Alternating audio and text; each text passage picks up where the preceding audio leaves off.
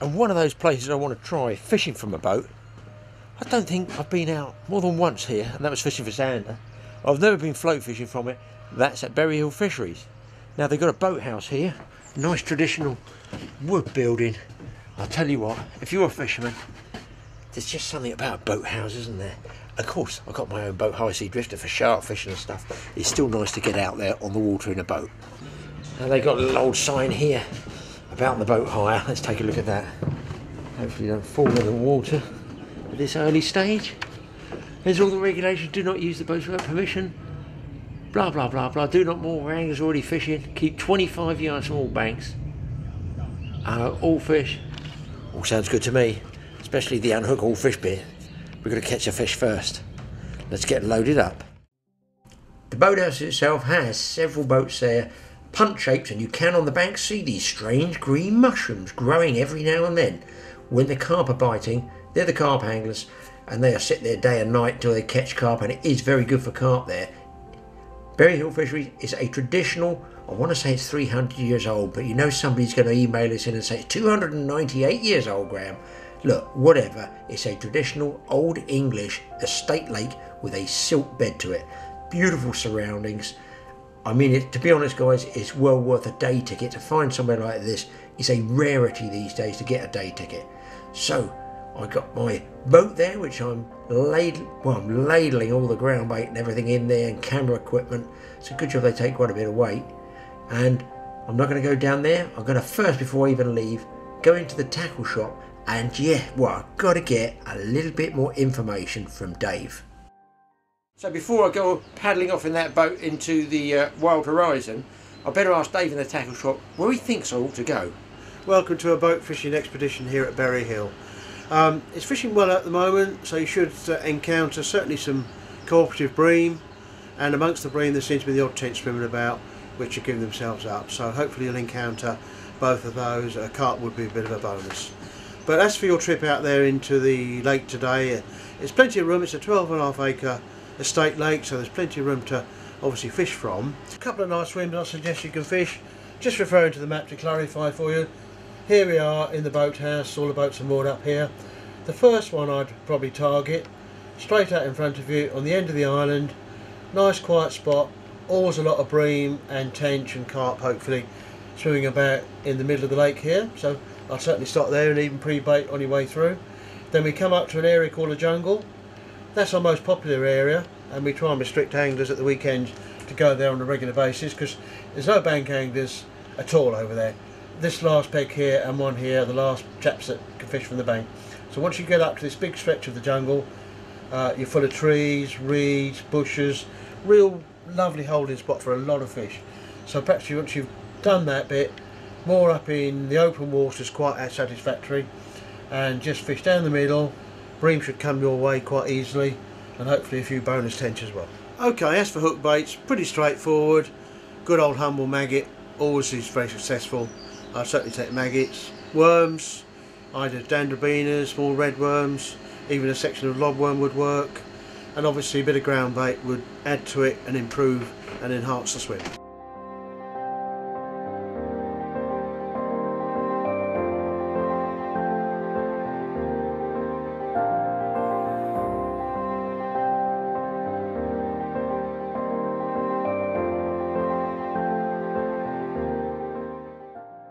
Here you can see the island which Dave suggested that uh, I actually anchor or moor up close to. I wanted to keep well away from the carp anglers as well because they obviously have leads flying about all over the place. But you can see the boathouse there. I guess it's a quiet little paddle across there to get to the area Dave said. I didn't go down the jungle, but listen, I'm in the right spot. Now what I'm going to do is put down a float marker here. I measure off the depth of the piece of fishing line and I've got a fishing weight on the end of that. So I've already dropped it over the side of the boat where I want to mark a swim or a sort of designated area. So I'm going to align the boat where I want this within about two or three rod lengths from where I can cast to it. I'm going to put the marker down. It's not going to cock up verti vertically. It's just going to lay flat. I'm then going to drop one cylinder of weight here. This looks like a plastic drain pipe full of concrete.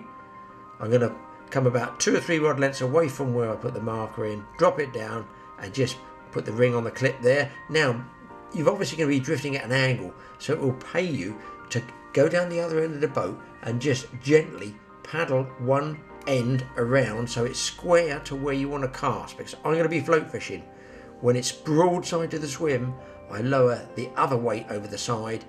Don't tie it off so tight that actually the weight of the boat will lift it. Just leave three or four, five inches of slack. Here's the ground bait, which is regular Skretting's pellets. I guess those are probably four mil ones. That's the one I use, standard ones, and any other bait rubbish I can get in there. Bits of casters, bits of maggots, chopped up worms, anything at all, because I'm just having a regular day's float fishing in the boat. I've got there, that's going in as well, my trusty garden peas. Some of you will have seen the garden peas where I actually pasted the carp in one of the uh, other lakes here at Bury Hill Fisheries. Mix in a few more pellets, just get them damp. You don't have to get them really slop, sloppy, just so that they bind together. And then get yourself ready to get that bait in the water.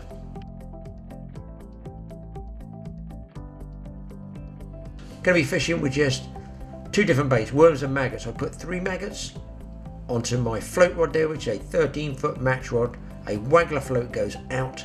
It's shotted so that there is most of the weight is under the float. I then put the rod tip under the water, sink it, and wind the float back into position where I've put that bait. And you're just going to literally sit back and wait until the fish move into that area.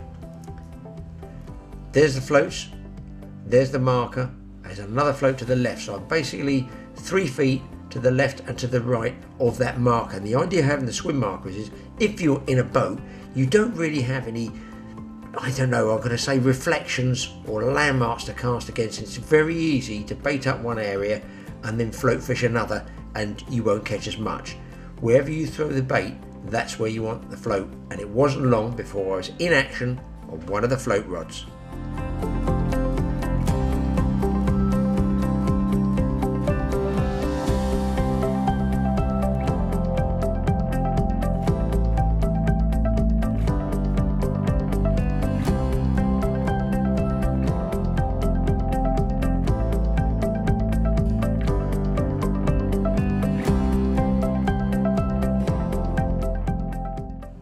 Of the most common species in Bury Hill fisheries is the bream.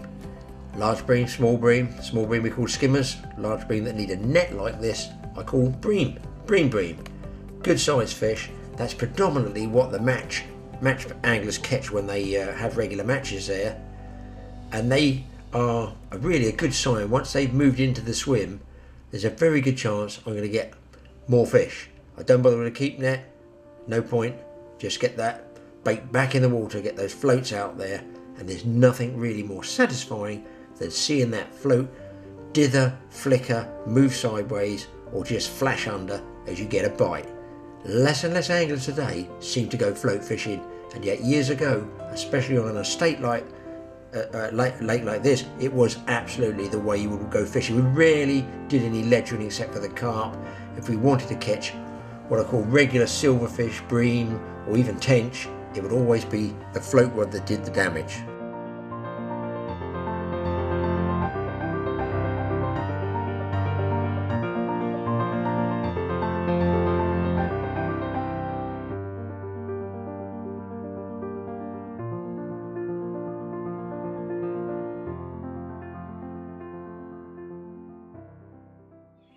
Well, guys, the wind's been up and down.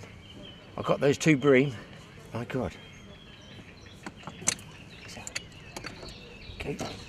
Now, I think, yes, something bizarre's happened. Oh, I lost it. I lost it. Oh, no. It's your fault. You know, it's all your fault, you YouTubers, making me catch these fish and lose them. If I was concentrating, I wouldn't have lost that. It's probably another bream. So I've had two bream. I think the guys at the bank are uh, catching the old fish too. Not on the carp, they seem to be pretty dead. That was on worm, by the way. I'm bouncing between the two, and I'll just show you how I'm baiting up. I've got on the rig two match rods. I've got six pound line straight through. Regular, trusty old reel. You've doubtless seen it here many times on the show. One of these modern clear plasticky waggler things here Won't say the name because they don't do us any favours. This is a loaded one and it's got a locking shot either side. In fact, I'm going to nip that up a little bit, that slip on that strike. I've plumbed the depth and I'm over depth to allow for the wind. And then when I get down here, I've got a hook link, which was, I think I haven't got it to show you. It's about a 14 hook barbless. Then about a number six or number eight shot there, just to anchor that just on the bottom. So when the float drags, when the ripple does come up, it drags, it doesn't go right under. That should just slow it and it stops it pulling out the swim. But I believe the fish have moved in there now. And what I'm doing is I'm fishing one with worm, with the Denver dendrobaenas, and one with three maggots on. I've had one bite. I think that was a worm I just lost on there. Just like this. Let me show you. Crank that down a bit. There. Should be able to see it now. Look at the state of those nails. I've been fishing with lugworm again. Actually, I was carping yesterday. Right, I'll just roll that one round and I always pop it up over the eye or the spade. In this case, it's a spade. Just so that being barbless, if anything does decide to wriggle off, and they will wriggle off, then I've still got something left on there. A little piece of bait. You're okay with an eyed hook and barbs, but spade ends, let's chuck those in. Uh, you can see that there, guys. Look how they wriggle. So they're going to go out on one float. I'm going to fish a worm on the other one in the baited patch next to it. Out to the right side. Oh, I should be a match, man. That's an unbelievable cast. Push the rod up under the water. Just let it settle. A couple of fast turns now and then. You know, a few seconds. Don't pull it out of position. Now, what I recommend is just shaking a yard, not even that, two feet of line off to allow for that yawing, we call it, swinging backwards and forwards on the anchor rope. Otherwise, as the boat moves, it's going to be pulling the float under, and it's quite annoying because you keep striking, thinking it's a bite. Okay, same thing with this, guys. A loaded waggler here, locking shot either side. Tell you what they are. They are number eights. That's the locking shot. Just going to shake this line free. Every time I do filming for you guys, something bizarre happens just in case it goes. Same, absolutely exactly the same principle. Ah, oh, point. Put the glasses on, right? Oh, on the camera. Get away from the marker. Get away from the marker. Oh my god. I told you, every time I switch the camera on and start talking to you guys, something bizarre happens. I dare say it's another skimmer. It's a netter. Well, they've obviously moved in over that bait now. That's the right hand side. I've been pumping more maggots on that side. Not a big fish. Look, it's not a big fish. But it's boat fishing. Let's just show you this one. There he is. And what's wrong with that? What is wrong with that? Beautiful setting, beautiful surroundings, a lovely sunny day. Slime up the line. Yuck. That is the downside of bream fishing. So kids, I do urge you to get one of these disc gorges. They're cheap, they're plastic. You can get forceps as well. Get, get both pair of curved forceps. But listen, what you do is, if that hook is in the fish's mouth, there's a little slot in there. You just put the end of the plastic cone in the slot, the line through the slot, slide it down till you feel the bend of the hook, then pop it out and it comes out like that. It's dead easy to use and probably get two, two or three I would because I'm always losing them anyway. I'm going to get this out and I will get around to showing you how to bait that worm up. There's so many there. Do you know what they're doing? They're actually bumping the marker float. I've got to get a bait in the water, especially while this wind's down. Okay, here we go. This is a tub of small Dendrobaena worms, purchased from the very tackle shop that is by the boathouse. Now, when you look in there, you think you just got a little tub of dry peat, but if you dig around in there with your fingers, you'll find lots and lots of small worms, or you should do, and they be chilled because they've been in the fridge. Now, I hooked them once, leaving about a half inch clear of what I call the top or the head. I then rehook them again further down about twice and I think that's important if you're using a barbless hook because otherwise a worm may well wriggle off the hook. But as you can see there by leaving the head free I've got a wriggle at the top and a wriggle down at the bottom. So any fish out in that swim have every chance of seeing that well they're going to smell it basically, basically I suppose they're going to smell it. I overcast a swim. In this case if it's not accurate, wind it straight back in and send it back out again. You want accuracy when you're float fishing from a boat. So try and get it right. Three feet either side of the marker. I don't want to go too close to it because if I hook a fish, it could tow me around the marker and then I've got big problems. And that's the other reason I just use a small weight for that marker. If I use a heavy weight, I might lose a fish around it. If I've got a small weight, if I do get a take, then I can at least move it.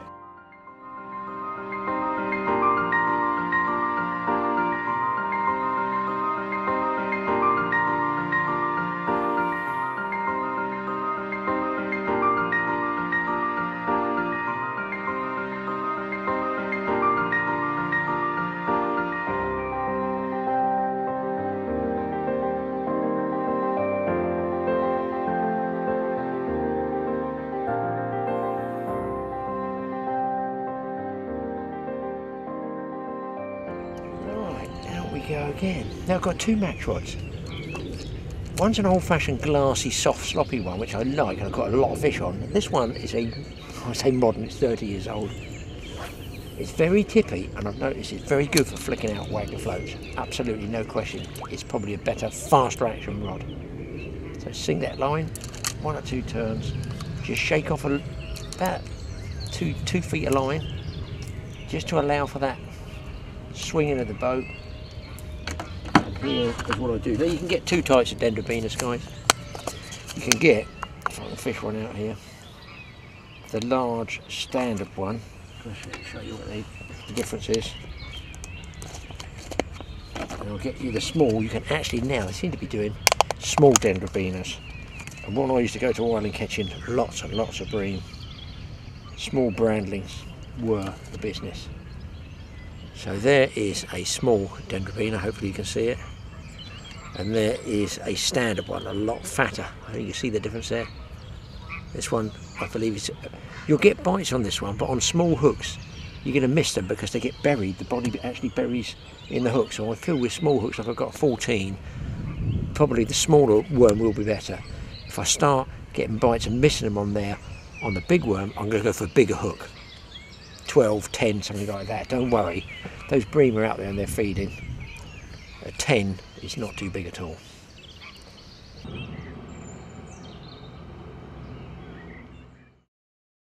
Well, it was just as well that I didn't go down to the jungle area that Dave pointed out because you can see after I've zoomed into that shot, tucked in there on the right hand side are a couple of anglers also fishing from one of the old Bury Hill boats. And on the left hand side, when I did my full zoom on the boat, you think, hang on, what's that guy doing around there? He's up to no good. He's actually float fishing. No, he might even be doing some good. But he's tucked in there. He's almost, almost, well, you can't even see him, can you? If I start putting the zoom back on the camera, look how well he's tucked in there. Now, I always wondered, should you go out in the middle and cast into the jungle, or put your boat in the jungle and cast out into the open water? That is the magic question of fishing. Okay, here's that small dendrobaena on the hook. I go through them three times, once at the top, once in the middle, bring the hook out, and then just nick it at the bottom there. And that leaves quite a bit of worm around there. And I find just let that float slide away. Once it's out of the, not, don't strike at dithery bites. Oh man, nearly got it again. That's on the maggots. Don't strike on dithery bites. Let the float absolutely slide away, pause a second and just lift into it. That's how I fish worms anyway. I don't like fast striking with worms. You miss quite a few fish. They're tugging at the tail or something like that. Once they get feeding, they really get hold of it. And of course, the other thing is, when you're shotting that float, just make sure you do allow for the weight, especially if you're fishing what's called dead depth where the worm is just barely on the bottom, allow for the weight of the worm as well because that will sink that waggler. Then up comes a ripple and you go, I can't see the float. And you end up striking thinking you're missing the fish and you're not. Actually the float is then overshotted. With a big worm, possibly better to undershot a little bit so you can allow for the weight of the bait. That goes for any bait, luncheon meat, anything like that. Man, I hope this wind stays down. Now when you float fishing with worms, especially this sort of distance, I don't know, 20 yards or so, you can't really catapult the worms out. You're better to cut them up with a pair of scissors, and you can get special worm scissors if you don't want to keep snipping away like this. I've not seen them yet, I've been told about them.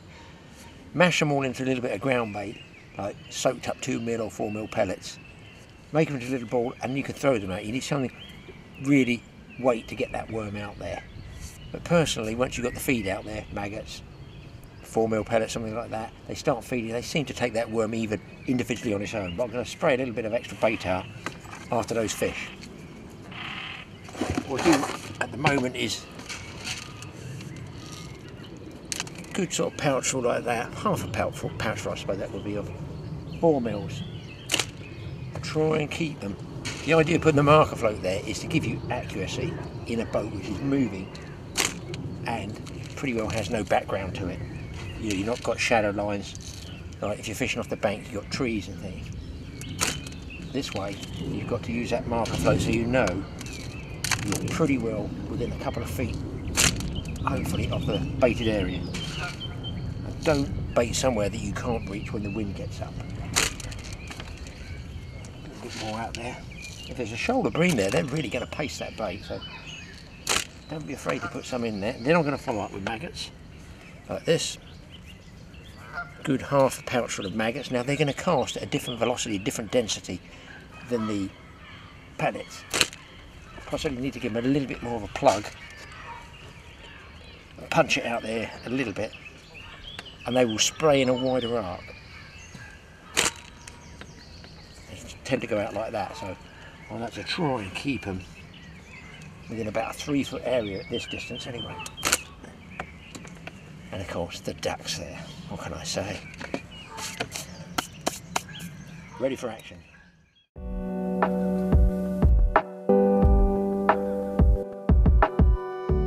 Here we see Guys on the bank, they have an enormous landing net and they're getting the fish. I imagine it's a small carp in there. Can't quite see much splashing. All looks very casual to me. They're waiting for the fish to come up near the net and I'm doing the best I can. Yes, there is a fish in there. 10 times larger than the net. No, it looks 10 times smaller than the net.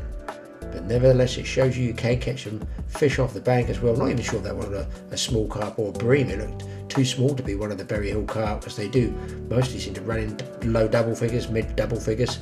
Some good fish there. And there you go, some other anglers just going back to the boathouse. On guys, I switched the camera off. Let's just adjust that for you. I switched the camera off, looked up and thought, there's something missing. The left hand float, and I think this is the one with the worm on. It's going to be a perch. No, it is indeed. Another bream. That's literally, literally 60 seconds after I catapulted that extra bait out there. Just a tad bigger this bream. Not a huge fish. Nice on a match rod. This one's a little bit better. Show him to. Oh yeah, this is better. Here. That's more like it. That's a proper bream. What I call a proper bream. This one. That's nice. That is nice on a match rod. A little bit of sport. There's the worm. That's a small dendrobaena there. You see, scoff that. Keep an eye on this other float. I think the fish have really moved in on me now. And that's one of the advantages of boat fishing. You can get out and fish places that maybe the guy, guys on the bank can't reach or they can't get to. And that is really nice. And it's not exactly unpleasant. A sunny day, wind's died off. We'll get many days like this in England to get this guy back get that hook out. Hopefully. Well, I can't really tell you which bait to use. It doesn't make any difference. It's worm and maggot. Both are catching. Brilliant. What a setting. Well guys, I've had those bream and it's definitely gone off now. I haven't had fish about an hour. The wind has quartered right round and that's put sort of subsurface drag into the float. I've moved twice trying to put it right and it's not working. The fish have gone off anyway, so hopefully you got a few tips there on boat fishing. Get out there, give it a go. It's relaxing.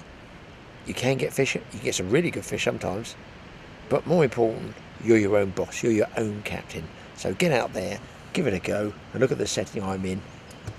Okay, so the fish have stopped biting, I'm not giving up just yet.